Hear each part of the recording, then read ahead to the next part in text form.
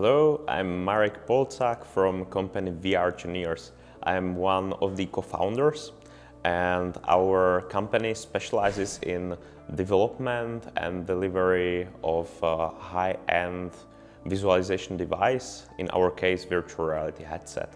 So after some time, after some prototyping and development, uh, we built first prototypes.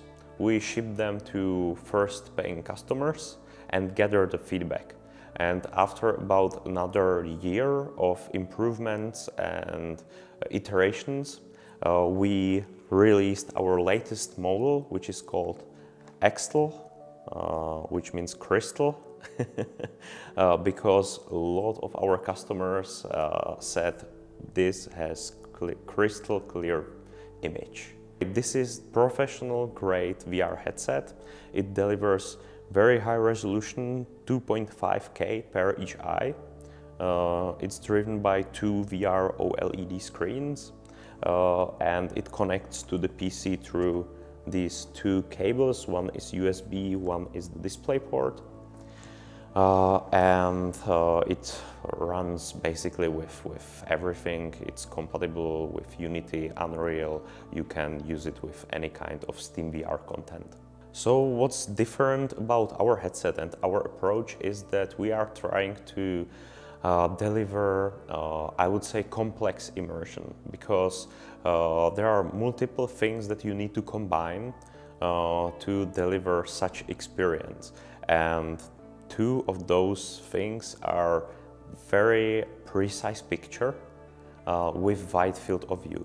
And it's actually not that hard to build a headset which has very wide field of view, but then you have a lot of problems with distortion on the edges, with color precision uh, in the extremes, and uh, you get the feeling that the picture is basically floating, it's not stable. It feels like you are on the ship when you move, when you rotate. Uh, same applies for high resolution. It's not that hard to buy a very dense uh, display uh, which has a lot of lot of pixels uh, but then your field of view is very limited, it's very narrow. And what we are trying to do, and we succeeded with XTAL, is combining those two.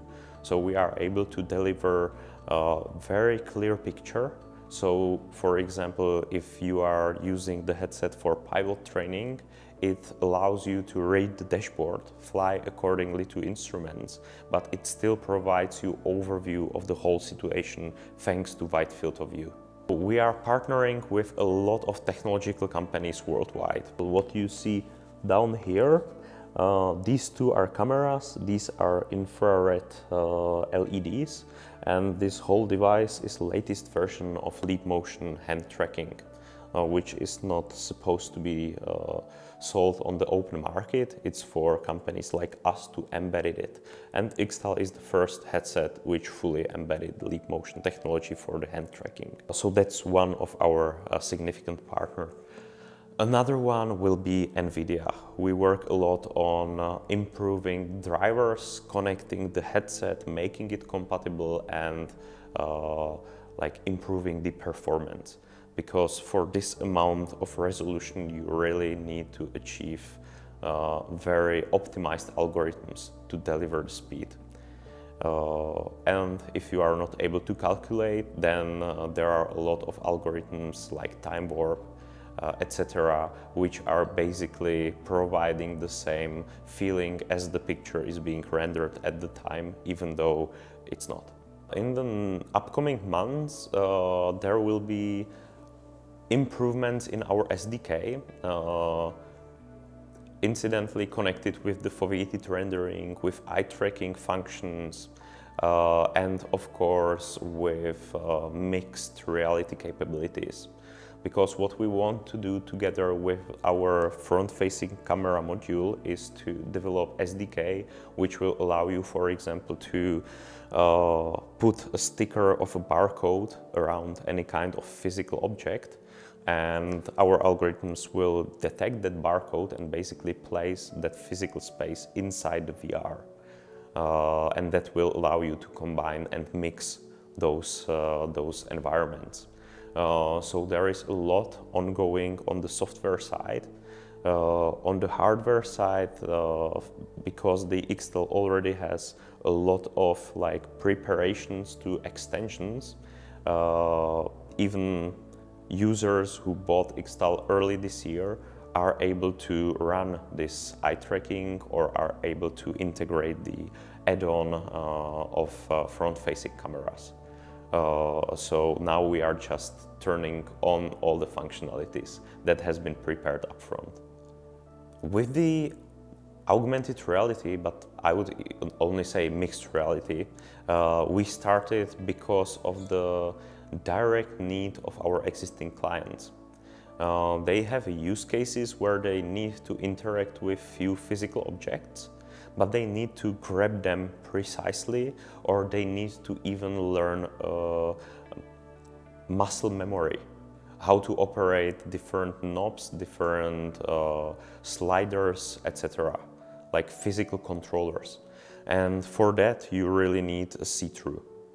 So that's why we started with the development and that's where, where we are heading with the AR module.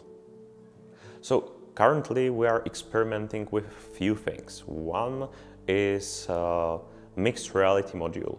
So basically front-facing cameras, which you can embed it here to the front of the XTAL, and that delivers you, again, very wide field of view of uh, see-through capabilities. So you are able to switch between virtual space and the real space. Uh, with that, as far as I'm aware, uh, our module is again the only one that can deliver you wide field of view, so basically covering whole 180 degrees that we, that we have with the headset. So that's one of the things. Another thing is, which is crucial and very important for our business, is optical system. XTAL headset uses non-Fresnel lenses. I don't know if it will be visible, but those lenses are very unique.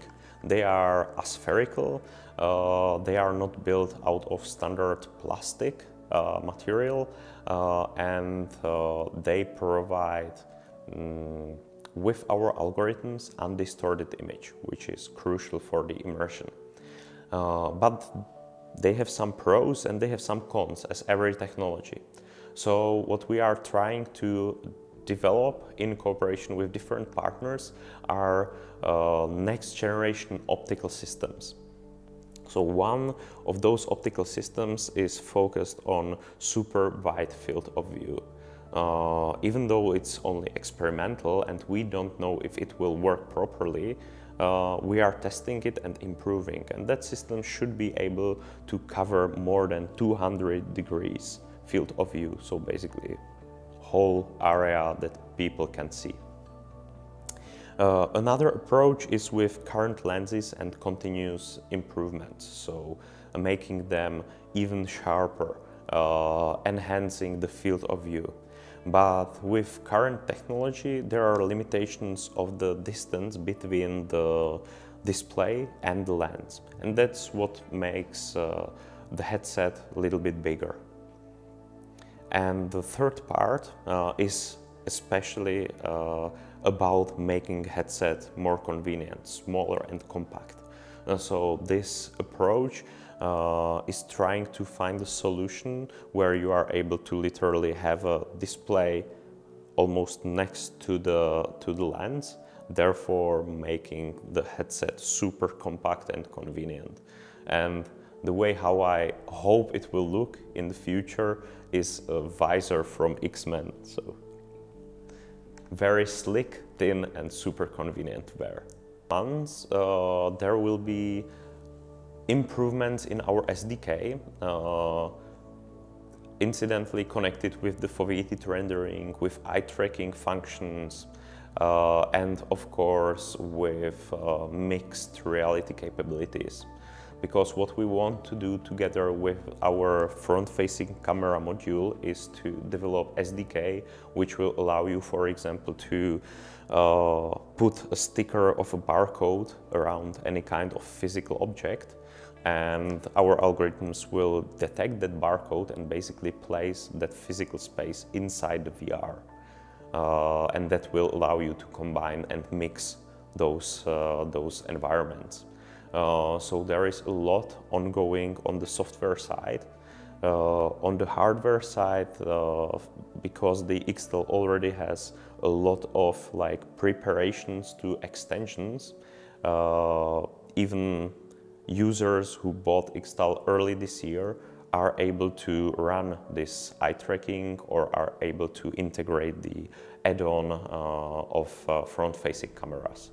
Uh, so now we are just turning on all the functionalities that has been prepared upfront.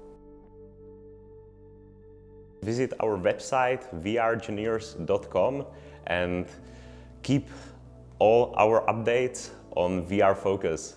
Bye.